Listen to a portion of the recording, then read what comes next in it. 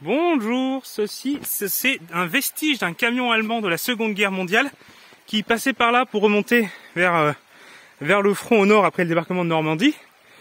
Et euh, là, début août 1944, euh, il arrive dans la, du coup, en Corrèze, dans le pas loin d'Aigleton. Et là, il va être attaqué par des résistants et donc le, camion va être abandonné là. Et il n'a pas bougé depuis. Alors même si, bon, il a été érodé hein, par le temps, l'eau qui passe juste à côté. Mais du coup, il reste encore ça aujourd'hui de ce camion. Vous voyez, il y a un petit morceau euh, ici encore. Mais ouais, il reste plus grand chose, hein, clairement. Mais, euh, c'est un vestige du coup de l'histoire et de, la guerre. Les roues. Hop. Voilà, c'était. Euh, on avait vu un panneau en passant indiquant qu'il y avait ça. Alors je, ne savais pas à quel point il restait quelque chose, mais je me suis dit que c'était intéressant de vous le faire partager.